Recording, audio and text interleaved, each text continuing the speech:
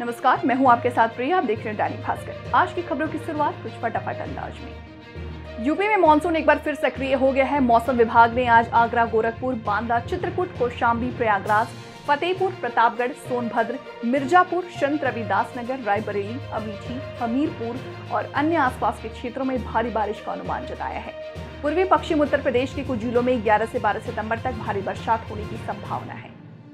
उत्तर प्रदेश के जौनपुर में mob leaching के डर से एक युवक फुट ओवर ब्रिज पर चढ़ गया।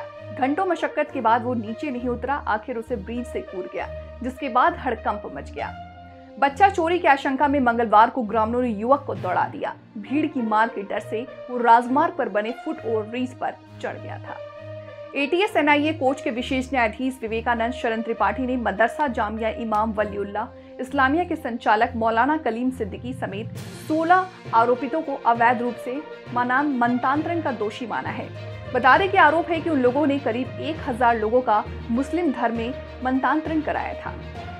नोएडा के साथ ही दिल्ली एनसीआर वाले भी ध्यान दें। Semicon India today 2024 India expo mart में शुरू होने वाले तीन दिवसीय सेमिकॉन इंडिया 2024 का। बुधवार सुबह 11 बजे प्रधानमंत्री नरेंद्र मोदी उद्घाटन करेंगे। इसके लिए प्रधानमंत्री आज ग्रेटर नोएडा आएँगे। अब ट्रैफ़िक पुलिस ने भी यातायात एडवाइजरी जारी कर दी है। इसीलिए घर से निकलने से पहले यातायात रूट अवश्य देख। योगी सरकार का विजन है कि नोएडा को डायनामिक सिटी के रूप में पहचान मिले सरकार नोएडा को डायनामिक सिटी बनाने के लिए टास्क फोर्स का गठन करेगी। सरकार चाहती है कि नोएडा का केवल औद्योगिक ही नहीं, बल्कि एडवांस्ड अर्बन एम्यूनिटीज वाले आधुनिक शहर के बीच तौर पर उसकी ब्रांडिंग और मज़बूत हो सके। फ़िलहाल वक्त हो चला एक छोटे से ब्रेक का। जल्द हाजिर होते हैं ब्रेक के बाद। तब तक के लिए बने रहे हमारे साथ और मुझे दीजिए इजाज़त। नमस्कार।